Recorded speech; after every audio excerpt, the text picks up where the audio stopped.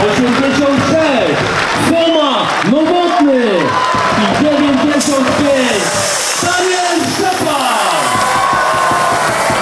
No jeszcze czekamy na 2-3 transfery. E, Myślę, że 80% kadry jest już zamknięta, ale, ale oczywiście jeszcze do zamknięcia okienka trochę czasu zostało, więc nie zamykamy się. E, Cały czas pracujemy mocno na tym, żeby nasz zespół jeszcze wzmocnić i, i, i tak to na tą chwilę wygląda. No, Dobrze, że e, ten e, trzon drużyny został. Mamy z przodu Somę Nowotnego. Mam nadzieję, że to też przy, przytrzyma całą tą e, ekipę. Mamy Sikorę, mamy kilku takich fajnych zawodników, którzy z nami pozostali. Mamy Figo, czyli Starzyńskiego, mamy Monetę, mamy no wielu, wielu takich zawodników, którzy grało w Ekstraklasie. Te doświadczenie się przyda, natomiast trzeba od czasu do czasu przewietrzyć troszeczkę magazyny i to się wydaje mi się teraz stało.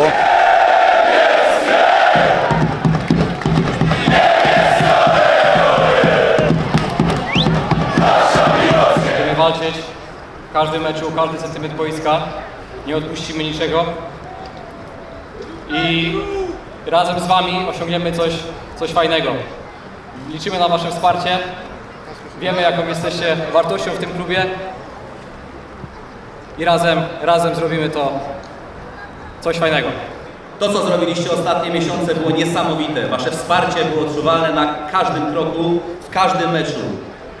My, to co powiedział Patryk, damy z siebie 100% na boisku. Zrobimy wszystko, żeby ruch był nadal wielki i osiągał jak najlepsze wyniki. A wierzę, że Wy będziecie nas wspierać na każdym kroku i razem, jeszcze raz powtórzę, najważniejsze razem, wierzę, że będziemy osiągać nasze cele. Hej niebiescy!